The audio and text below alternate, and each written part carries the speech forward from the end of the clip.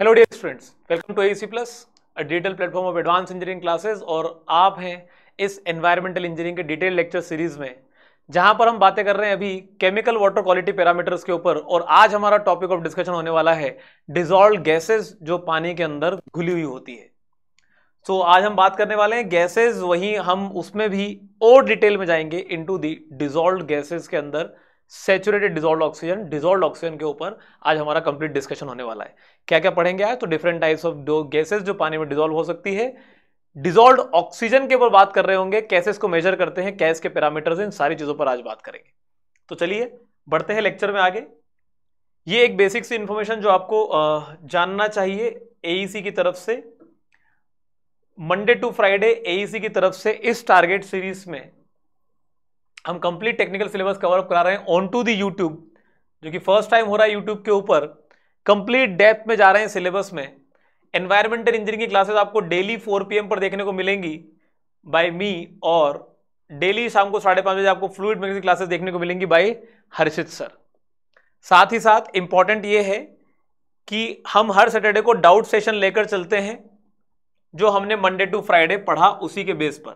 So that student का कोई भी डाउट रह ना जाए. और साथ में हम करते हैं लाइव क्वेश्चन प्रैक्टिस सेशन ठीक है? चलिए तो बढ़ते हैं आगे।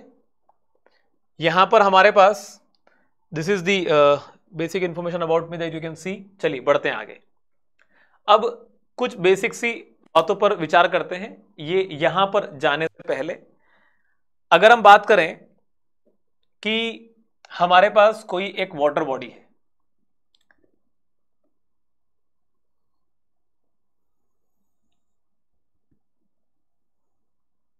कोई एक वाटर बॉडी है मेरे पास, उसमें certain amount of water is present कुछ अमाउंट का वाटर उसके अंदर प्रेजेंट है, ठीक है?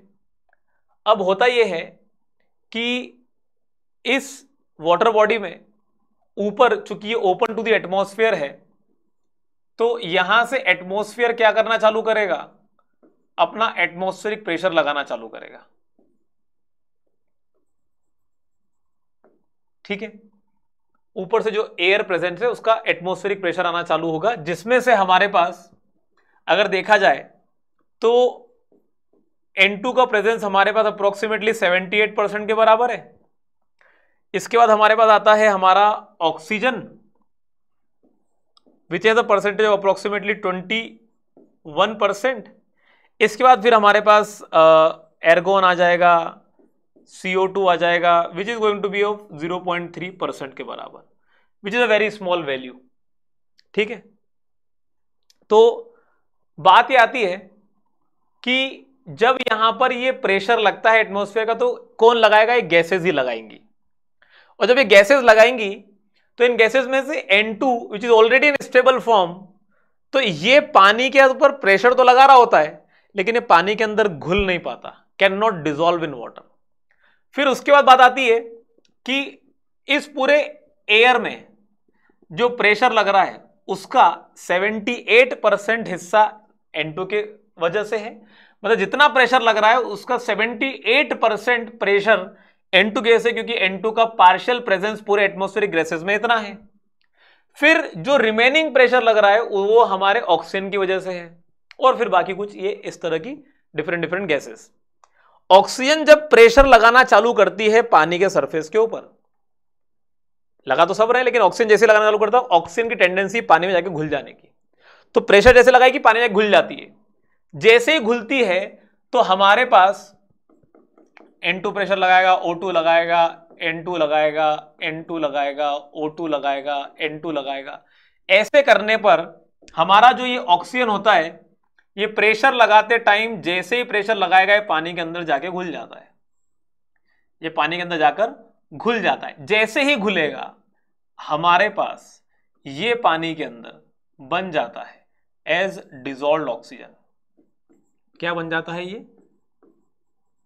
डिजोल्व ऑक्सीजन अब बात ये आती है कि पानी में ऑक्सीजन डिजोल्व तो हो गई। पानी में ऑक्सीजन डिजोल्व तो हो गई लेकिन अगर सब कुछ सही है for example if I have this bottle of water पानी बिल्कुल साफ़ है कंप्लीटली क्रिस्टल क्लियर है, अंदर कुछ भी नहीं है इट इज़ जस्ट वाटर अगर मैं इसे सरफेस पर डाल दूँ, किसी भी सरफेस पर, और इसको डालने पर ऊपर से लगने वाले प्रेशर की वजह से इसके अंदर कुछ ऑक्सीजन घुलेगी ऑक्सीजन की भी घुलने की एक लिमिट रहेगी। जो इसके अंदर मैक्सिमम अमाउंट ऑफ़ ऑक्सीजन घुल सकती है हमारे पास, इसमें से भी जो हमारे पास maximum amount of O2 that can be dissolved at any temperature उसी को कहेंगे सैचुरेटेड सैचुरेटेड डिजॉल्व ऑक्सीजन। मतलब एक लिमिट से ज़्यादा ऑक्सीजन पानी में घुल ही नहीं पाएगी, क्योंकि उसका वहाँ प्रेजेंस इतना हो जाएगा कि जितना ऊपर है प्रेजेंस लगभग लगभग उसके प्रोपोर्शन में उतना प्रेजेंस हो जाएगा कि अब इससे एक्स्ट्रा पानी में घुल ही नहीं सकती। अगर जितनी मैक्सिमम घुल सकती है, उसे कहते हैं सेचुरेटेड ऑक्सीजन जो कि टेम्परेचर डिपेंडेंट है। टेम्परेचर डिपेंडेंट है मतलब क्या? टेम्परेचर से हमने एक बात ही जानी थी is inversely proportional to solubility of gases solubility of gases मतलब क्या होता है इसका? अगर आपने किसी भी वाटर बॉडी का टेम्परेचर बढ़ाया तो उसमें से इतने वेपर उठते हैं कि उन वेपर का प्रेशर लगने चालू जाता है कि सोल्यूबिलिटी गैसेस की कम हो जाती है। टेम्परेचर बढ़ाओगे गैसेस सोल्यूबिलिटी कम हो जाएगी। तो किसी भी टेम्परेचर पर कितनी मैक्सिमम अमाउंट ऑफ़ ऑक्सीजन घुल सकती है, वो उस टेम्परेचर पे भी डिपेंड करेगी। चलो ठीक है। मैंने आपसे कहा, एक काम करो, अपन चलते हैं टेस्ट करने के लिए। आपने कहा, ठीक है, सर, चलते हैं, कहाँ चले? मैंने कहा, चलो, कोई एक ऐसी वाटर बॉडी जो बिल्कुल साफ़ हो। आपने सर अंटार्कटिका चलना पड़ेगा। वहाँ पर जो है वो एकदम बिल्कुल साफ़ कंप्लीट क्रिस्टल क्लियर लेक है।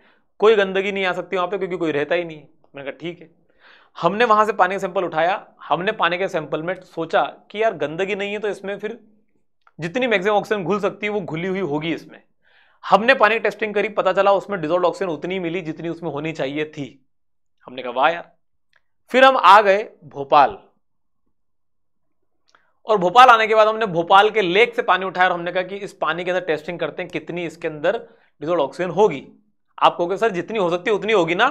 मैं कहा, नहीं चांसेस हैं कुछ अलग हो जाए।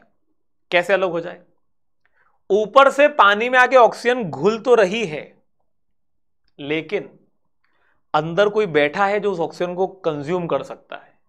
कौन कंज्यूम कर सकता है? Micro organism sir micro organism क्यों कंज्यूम करेंगे? क्योंकि उनको जीवित रहना है। तो सर माइक्रो ऑर्गेनिज्म पानी में क्या करेंगे? क्योंकि उनको ऑर्गेनिक मैटर मिल रहा है। सर पानी में ऑर्गेनिक मैटर कहाँ से आएगा? कहीं से भी गंदगी आ सकती है। वो ऑर्गेनिक मैटर ही तो है। तो सर, इसका मतलब ये कि किसी पानी में अगर कहीं से गंदगी आई तो उस गंदगी को खत्म करने के लिए वहाँ बैक्टीरिया ग्रो कर जाएगा। बिल्कुल ग्रो करेगा। और वो बैक्टीरिया उस चीज़ों को खाता चला जाएगा डिकम्पोज करता चला जाएगा। और साथ में ऑक्सीजन कंज्यूम करता चला जाएगा। तो ऊपर से जो पानी में ऑक्सीजन घुल रही है, उसको धीरे से छुपके से बैक्टीरिया खत्म करते चले जा रहा है। तुमने कभी पानी में टेस्टिंग करी? और तुम्हें सेचुरेटेड डिजोल्व ऑक्सीजन से कम वैल्यू की अगर पानी में ऑक्सीजन मिली, समझ जाना, अंदर कोई ना कोई तो है जो इस ऑक्सीजन को गायब कर रहा है। और वो कौन होगा? That is the micro organism और माइक्रो ऑर्गेनिज्म है तो तुम्हें यही तो पता करना था कि तुम्हारे पानी के अंदर अगर ऑक्सीजन की कमी है तो क्यों है? It is due to some microorganism in it तो हमारे पास डिजोल्व ऑक्सीजन का टेस्ट पानी में बताता है कि क्या उसमें पॉल्यूशन है भी या नहीं। तो वहीं पर विचार करते हैं। हमारे पास यहाँ पर if I talk about gases either gets dissolve from atmosphere according to their partial pressure और may be induced due to organic matter present in water and undergoing various chemical and biological changes तो हमारे पास इसका मतलब क्या होता है? Induce due to organic matter present in water कोई भी ऑर्गेनिक मैटर जब पानी के अंदर प्रेजेंट होता है ऑर्गेनिक मैटर क्या होगा? एक फल ले लो। फल सड़ेगा तो बदबू आती है उसमें से। बिल्कुल आती है। क्यों? क्योंकि उसमें से अलग अलग तरह की गैसेज इवॉल्व हो रही है। तो अगर किसी फल को पानी में डाल दो, वहाँ भी सड़ सकता है। उसमें से भी गैसेस बनेंगी। तो पानी में घुल सकती है ना? पानी में डिजोल्व ऑक्सीजन मतलब पानी में कई प्रकार की गैसेस एटमोस्फेयर से घुल सकती है या अंदर कोई ऑर्गेनिक डिकम्पोज हो रहा है, उससे भी घुल सकती है। तो हमारे पास gases that can be found in water are क्या क्या हो सकती है हमारे पास? तो O2 CO2 CH4 H2S NH3 अगर पानी में प्रेजेंट है if present in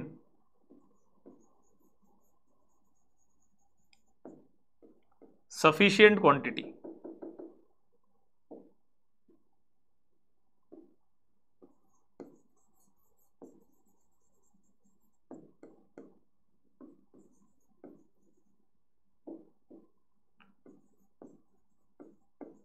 amount indicates no pollution in water.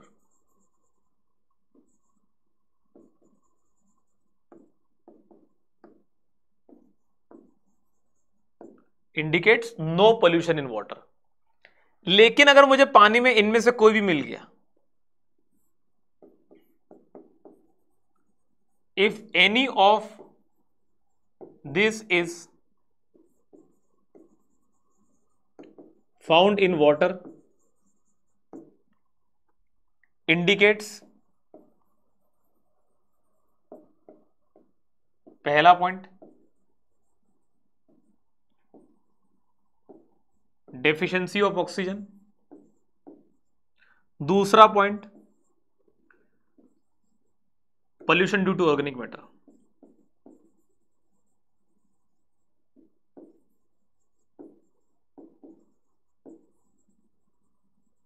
Pollution due to organic matter. पानी में अगर भरपूर मात्रा में ऑक्सीजन मिले, समझ जाना, पानी बहुत साफ़ है और कोई गंदगी नहीं है। पानी में ऑक्सीजन मिलने के बजाय अगर ये मिले समझ जाना पानी में ऑक्सीजन की कमी है और पानी के अंदर ऑर्गेनिक मैटर का पोल्यूशन है। CO two is responsible for its acidic property methane explosive property लिए जाना जाता है। एच टू एस अपने आप में एक सड़े हुए अंडे की तरह बदबू आती है रोटन एक लाइक स्मेल सिमिलरली अमोनिया बहुत स्ट्रॉन्ग पंजेंट स्मेल होती है। तो पानी के अंदर ऑक्सीजन या गैसेस एटमोस्फेयर से आ सकती है या फिर अंदर ऑर्गेनिक मैटर के पोल्यूशन से आ सकती है। ये पाए जाए तो गंदगी है ये पाए जाए तो पानी साफ़ है। अगर ये नहीं पाई गई तो डेफिशिएंसी मिलेगी। डेफिशिएंसी का मतलब ये वाली गंदगी मिलेगी तो पता चलेगा कि पानी में पोल्यूशन है या नहीं है। आगे बात करते हैं। If CO two S two S C H four NSCR found in water mean there is no pollution sorry are not found in water mean there is no pollution water and we will have sufficient amount of oxygen dissolve in water saturated dissolve oxygen क्या होती है? Maximum dissolved O two at any temperature in water is referred as saturated dissolved oxygen any deficient of oxygen in water with respect to saturated DO indicate the presence of organic matter in water तो ये बात ध्यान रखिएगा हमारे पास यहाँ पर। अगर हम बात करें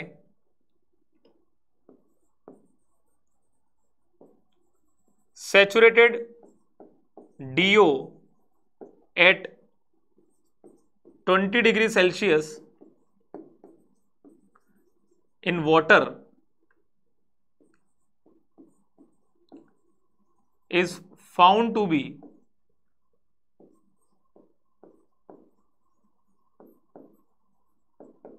nine point two M G per litre के बराबर। पानी में saturated dissolve oxygen 20 degree Celsius पर कुछ इतनी पाई जाती है। टेम्परेचर कम करोगे तो सोल्यूबिलिटी ऑफ़ गैसेस क्या हो जाएँगी? टेम्परेचर के इनवर्सली प्रोपोर्शनल है। टेम्परेचर कम करोगे तो सोल्यूबिलिटी गैसेस बढ़ जाएगी। टेम्परेचर बढ़ाओगे, कम हो जाएगी। तो ये बात पता होनी चाहिए। पानी के अंदर अंदर मछलियाँ रहती है। मछलियों को जीवित रहने के लिए कुछ ऑक्सीजन चाहिए। मिनिमम कितनी ऑक्सीजन चाहिए? Minimum oxygen they require is equal to four M per litre बात ध्यान रखिएगा।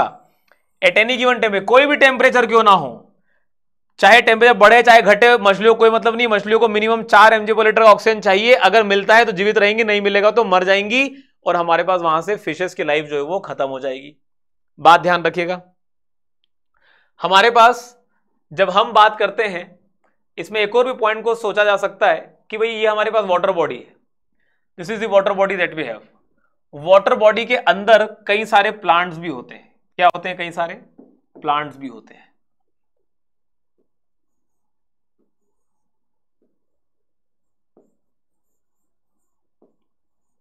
तो ये प्लांट्स क्या करते हैं यहाँ पर? This plants do photosynthesis process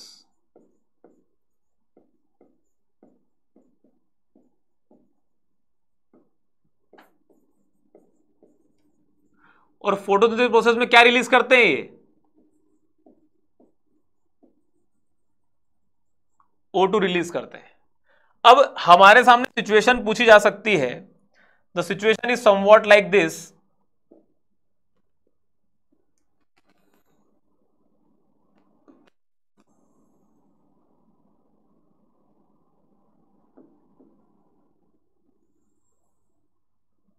कि पानी के अंदर मैक्सिमम डिजोल्व ऑक्सीजन कब पाया जा सकता है? इमेजिन करते हैं सिचुएशन को। मुझे बताना, रात का समय है टेम्परेचर ज़्यादा होगा या कम? सर कम होगा। टेम्परेचर कम होगा। तो सॉल्युबिलिटी ऑफ़ गैसेस क्या होगी? ज़्यादा होगी।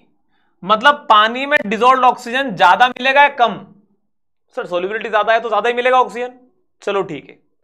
रात का समय है, ऑक्सीजन की सोल्यूबिलिटी बढ़ गई, ठीक है? लेकिन रात में सनलाइट तो नहीं है ना? फोटोसिंथेसिस प्रोसेस नहीं होगा, ऑक्सीजन नहीं बनेगी। तो अब ये फोटोसिंथेसिस प्रोसेस की जो ऑक्सीजन रिलीज़ होती थी दिन में, वो कम हो जाएगी। यहाँ से कुछ ऑक्सीजन बढ़ी, ये कम हो गई, इसका कुछ एक लेवल बना, ठीक है? कुछ एक वैल्यू आई होगी, नहीं पता भी कितनी बट इट मे बी ऐसे वैल्यू अब बात करते हैं, दोपहर के 12 बजे की, दिन के समय की। क्या हो रहा होगा? ऊपर से सनलाइट गिर रही होगी। फोटोसिंथेसिस प्रोसेस के दौरान काफ़ी सारी ऑक्सीजन बन रही होगी। बन गई ऑक्सीजन पानी में आ जाएगी, क्योंकि डिजोल्व फॉर्म में तुरंत पानी ले लेगा इसे। पानी में घुल जाएगी। तो पानी का ऑक्सीजन लेवल बढ़ जाएगा। चूँकि दिन का टाइम है टेम्परेचर ज़्यादा होता है टेम्परेचर ज़्यादा होता है तो गैसेस की सोलिबिलिटी कम हो जाती है मतलब ऊपर से घुलने वाली ऑक्सीजन कम हो जाएगी। ये वाली ऑक्सीजन कम हो जाएगी डिजोल्व ऑक्सीजन और फोटोसिंथेसिस वाली बढ़ जाएगी। पिछले केस में ये बढ़ रही थी, ये कम हो रही थी। इन दोनों ही खेल में ये कंफ्यूजन क्रिएट हो जाता है कि सबसे मैक्सिमम लेवल ऑफ़ ऑक्सीजन रहेगा कब? हमारे पास। हम ये कह सकते हैं।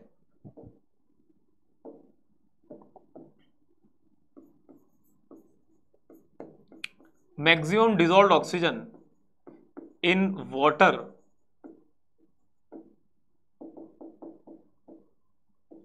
in river water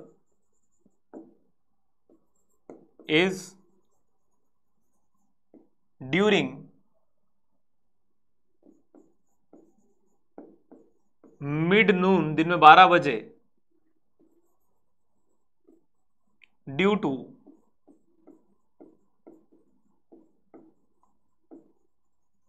photosynthesis process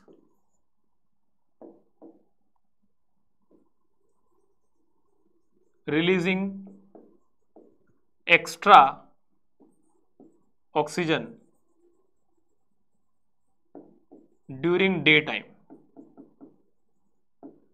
and very less reduction of atmospheric oxygen due to increase in temperature तो टेम्परेचर के बढ़ने से थोड़ा सा ही कम हमारा टेम्परेचर बढ़ने से थोड़ा ही कम ऑक्सीजन लेवल गिरता है, लेकिन फोटोसिंथेसिस करंट अच्छा खासा गिर जा, उड़ जाता है। तो दोपहर के टाइम पे ज़्यादा अमाउंट ऑफ़ ऑक्सीजन देखने को मिल जाती है। आगे बढ़ते हैं। हमारे पास अगर मुझे टाइट्रेशन प्रोसेस की मदद से पता लगाना है, पानी में डिजोल्व ऑक्सीजन कितना है तो जो टाइट्रेशन मेथड है हार्डनेस के लिए उसे वर्सनेट मेथड कहा जाता था क्लोराइड टेस्टिंग के टाइम पे या फिर सॉरी हाँ हार्डनेस के टाइम पे वर्सनेट सोल्यूशन का, वर्सनेट मेथड कहा जाता था क्लोराइड के टाइम पे मोर्स मेथड कहा गया डिजोल्व ऑक्सीजन टाइम पे इसे विंकलर्स मेथड कहा गया। कैसे करते हैं, जरा देखिएगा। कैसे टेस्ट परफॉर्म करते हैं जरा देखिएगा। स्टेप में पहला स्टेप, ठीक है? 200 hundred M L DO bottle is taken. 200 सौ एम की डीओ बोतल ली हमने, और 200 सौ की डीओ बोतल लेने के बाद फिल्ड विथ वाटर सैंपल उसमें वाटर सैंपल फिल कर लिया। और वाटर सैंपल फिल करने के बाद इसमें हम कर रहे हैं add two M L M N O two ठीक है? Just let me drink some water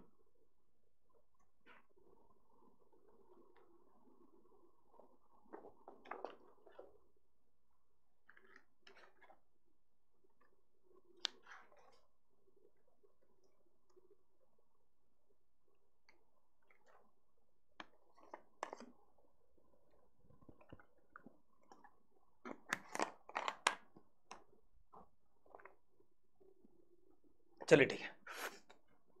तो बात करते हैं adding two M L of MNO two sorry मैंने एम टू लिख दिया, ये एम टू नहीं है। एम एन ओ टू तो प्रोडक्ट बनेगा एम एन एसओ फोर डालेंगे। तो adding two M L M N SO four plus alkali iodide azide हमने क्या किया? दो एम का एमिनोसोफोर डाला अल्कली आयोडाइड अजाइड बनाया। ठीक है? बनाया मतलब ये ऐड किया। दोनों चीज़ें ऐड करने पर ऐड करने के बाद हमें यहाँ पर रिज़ल्ट मिलते हैं दो तरह के।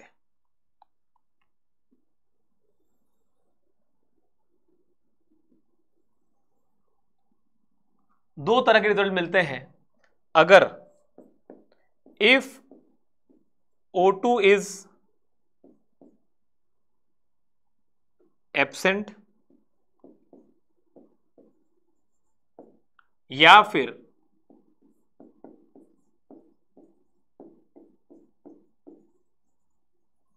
इफ़ O2 इज़ प्रेजेंट पानी के अंदर या तो ऑक्सीजन का प्रेजेंस हो सकता है नहीं हो सकता। आप कहीं से पानी उठा के लेकर आए हो टेस्टिंग करना है कि उसमें डिजोल्व ऑक्सीजन कितना है। दो चांसेस बनेंगे ना, या तो हो ही नहीं उसके अंदर, या हो तो कितनी हो। अगर नहीं है इफ़ O2 इज़ एबसेंट तो हमें मिलता है white precipitate.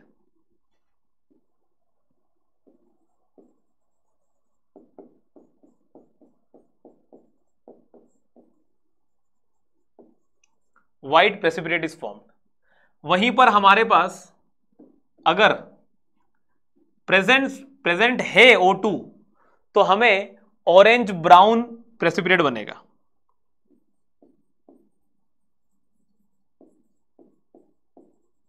Orange brown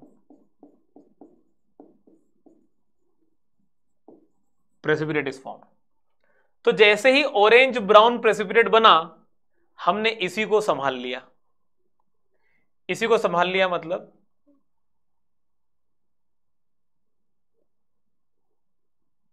हमने इसके बाद प्रोसेस को आगे बढ़ाया कि यार प्रेजेंस है ऑक्सीजन तो है, तभी ऐसा प्रेसिपिटेट बना है।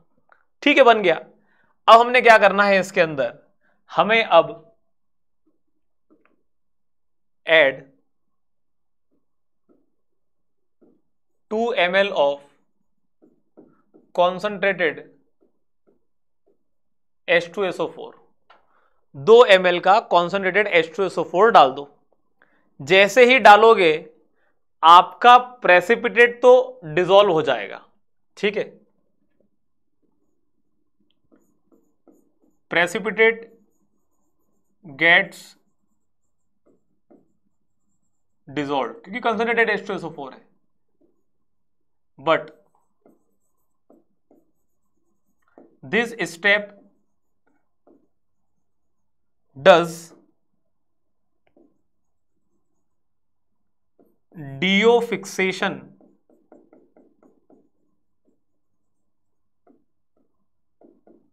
in sample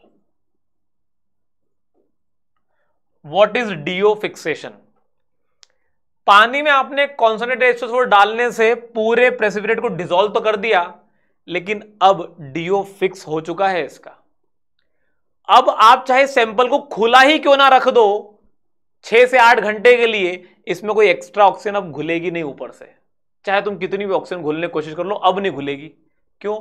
टेस्टिंग करते हो कभी कभी टाइम लग जाता है तो उस टाइम से हमें प्रॉब्लम है कि टाइम लगते लगते अगर अलग से कोई ऑक्सीजन एड हो गई पानी में तो?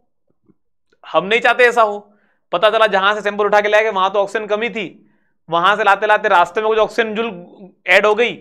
कुछ ऑक्सीजन प्रोसेस के दौरान ऐड हो गई, कुछ टेस्टिंग के दौरान ऐड हो गई, खेल ही खत्म हो गया। टेस्ट का रिज़ल्ट कुछ आएगा, असलियत कुछ और है। हम डीओ फिक्स करना चाहते हैं। डीओ फिक्सेशन क्या मदद करता है?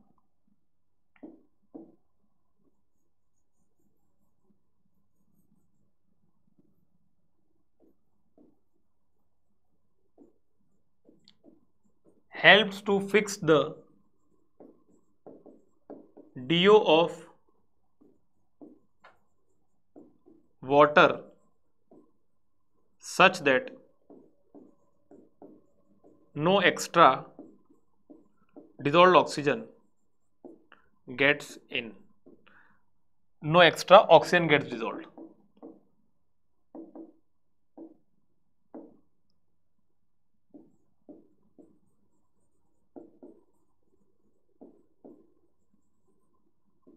ये कर लिया आपने। ये कर लेने के बाद what is to be done is अब आप आते हो आगे चलकर। Now add two drops of starch what is starch starch हमारा कलर इंडिकेटर है। This is a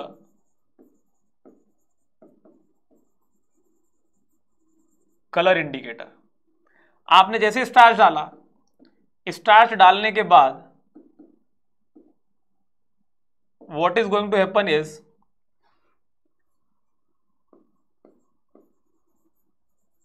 solution turns blue in colour solution का कलर हो जाता है कंप्लीटली ब्लू तो सोल्यूशन कंप्लीटली ब्लू कलर का हो जाता है ऐसे में हमारे पास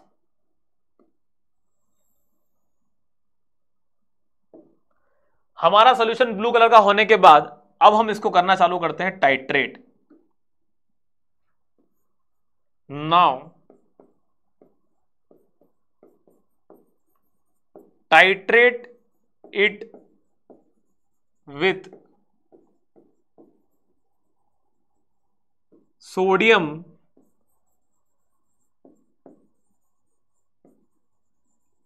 thiosulfate till it becomes colorless.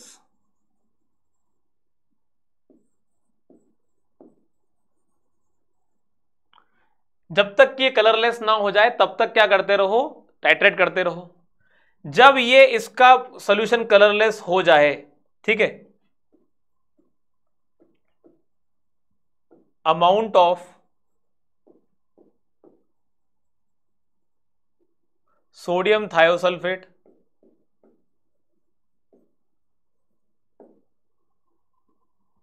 used to make solution colourless is equal to is equal to equal is equivalent to is equivalent to DO of sample. इसी से पता चलेगा पानी में कितना डीओ रहा होगा। तो ये एक तरीका है। इसी को कहते हैं विंकलर्स मेथड कैसे किया देखो जरा। 200 सौ की बीओडी बोतल ली। सैंपल डाला इसके अंदर। MnSO4 डाला 2 एम का। अल्कली एडेड एजाइड डाला हमने इसके अंदर। प्रेसिपिटेट बनेगा हमारे पास। कंप्लीटली मिक्स करेंगे तो। प्रेसिपिटेट अगर बनता है, ठीक है? सेटल डाउन हो दो उसको उसके अंदर हमारे पास प्रेसिपिटेट अगर ऑरेंज ब्राउन प्रेसिपिटेट बना तो उस खेल में हम समझेंगे कि डीओ प्रेजेंट है। इसी में मिला दो दो एम का concentrated S two SO four concentrated sulphuric acid डालेंगे तो क्या मिलेगा हमारे पास? The content completely get mixed पूरा डिजोल्व हो जाता है हमारा प्रेसिपिटेट फिर हम इसको क्या करते हैं? इसी के अंदर ऐड करते हैं हमारा starch indicator starch indicator add करने के बाद हम ऊपर से डालना चालू करते हैं सोडियम थायोसल्फेट सोडियम थायोसल्फेट डालना चालू करते हैं। जब तक कि डालते रहे, जब तक ये कलरलेस ना हो जाए। फंडा बड़ा सिंपल सा है। लेकिन हमारे पास but this test gets error in result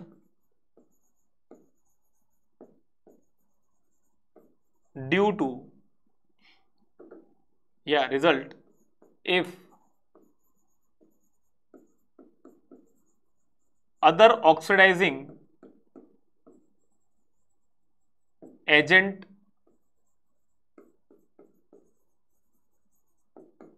are present in water. Example example के तौर बात कर लो एनओ थ्री माइनस तो अगर पानी के अंदर कोई दूसरे ऑक्सीडाइजिंग एजेंट पानी में है तो वही स्टेज को ड्राइव कर देंगे हमारा रिज़ल्ट ही गलत आएगा। तो हम क्या करते हैं इसको?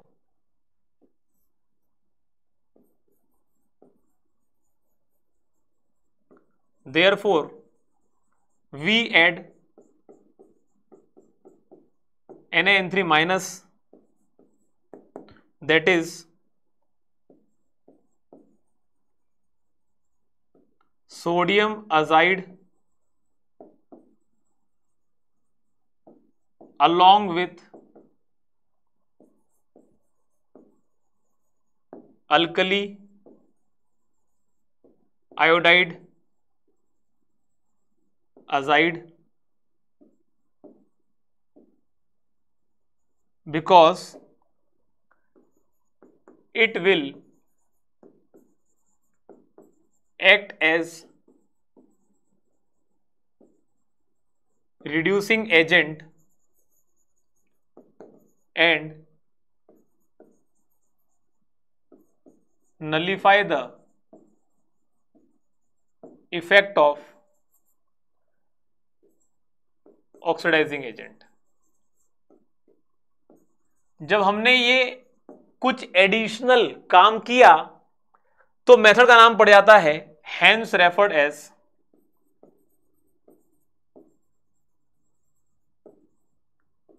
modified Winkler's method